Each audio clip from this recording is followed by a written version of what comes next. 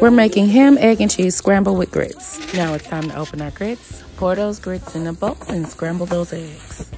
Don't forget to add American cheese. Get that cup of tap water. Go ahead and pour it right in the bowl. And voila, this has been brought to you by the Brandy Sax Channel. This has been a production of Cooking for That Simple Me. And we're done. We're done.